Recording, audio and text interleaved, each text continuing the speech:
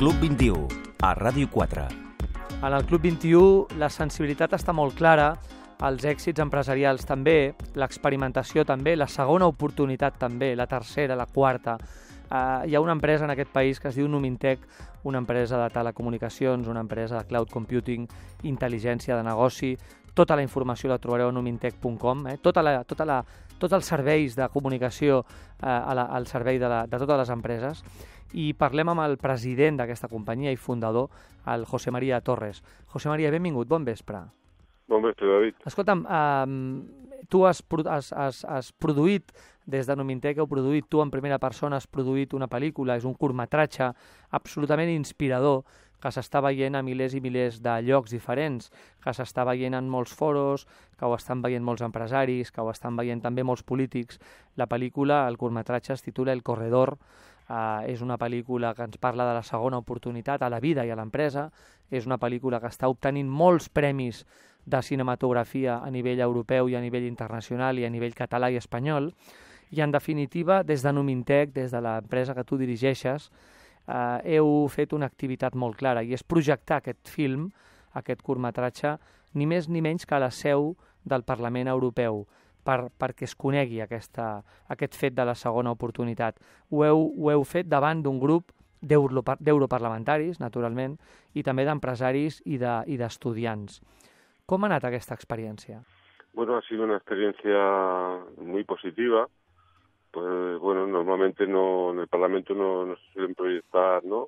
Claro. cortos de este tipo, pero lo más, lo más importante que el corto para nosotros eh, representa una herramienta para intentar que exista un marco regulatorio europeo común Uh -huh, sí. sobre el tema de la segunda oportunidad. Entonces vinieron muchos europarlamentarios de diferentes grupos políticos, Sí. eh, nos dejaron hacer una conferencia, pudimos hacer eh, un debate sobre este tema y la verdad es que bueno salimos muy contentos porque vemos que hay mucha sensibilidad sobre todos estos temas y que bueno eh, cada vez somos más personas y que estamos en una plataforma trabajando en este sentido por ese marco regulatorio y bueno el ir a Bruselas es un paso importante Claro. ahora iremos a, a Washington también viaj- viajaremos varias personas Molt bé. al gobierno de Washington y haremos allí unas formaciones veremos cómo funciona to- toda esta temática cómo cómo la trabajan Uh -huh. para aprenderlo de, de primera mano. Y bueno, en este caso nuestro objetivo es esto, que exista una, una ley de la segunda oportunidad que permita pues, a todas estas personas que lo han perdido todo eh, recuperarlas para la sociedad, ¿no? porque lo, eso representa un, un impacto en la economía impresionante. Y en Estados Unidos, con la experiencia que tienen ya desde el siglo XIX, pues pensamos que es el, el modelo a seguir. Clar. Heu anat, José María, al Parlament Europeu, ni més ni menys que a la seu del Parlament Europeu, a, a, a, a, a projectar aquesta pel·lícula que heu produït des de Numintec, que has produït tu, aquest curtmetratge El Corredor. És clar, Europa i Espanya estan molt lluny de, del que s'està fent en aquest tema de la segona oportunitat amb Amèrica.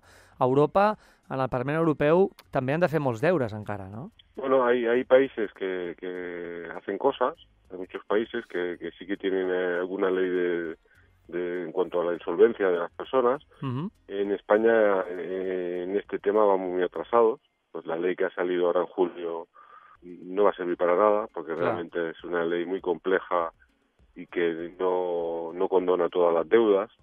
Y, por ejemplo, en el caso de los autónomos, que cuando les va mal, eh, las deudas de la seguridad social es lo que más les aprieta, por lo cual es una ley inservible. Entonces, lo que vamos a intentar nosotros es que desde la Unión Europea pues haya una regulación para que en, España pues, se pueda cumplir, ¿no?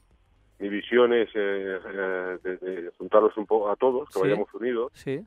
eh, en- en- luchando por, por este objetivo y bueno y conseguir eh, ¿no? pues, más fuerza para, para, que esto ocurra y convencer aquí de, bueno aquí el, el gobierno y el Parlamento Europeo que es necesario que, que existan este tipo de leyes pues que, que, que van a ir muy bien para la economía ¿no? Exactament, va molt bé per les persones en primer, en primer terme, però sobretot per l'economia, per una economia de, de perfils empresarials més arriscats, de gent més innovadora i de gent que, en el fons, si s'equivoquen, doncs poden tornar a, a reprendre la seva, la seva activitat.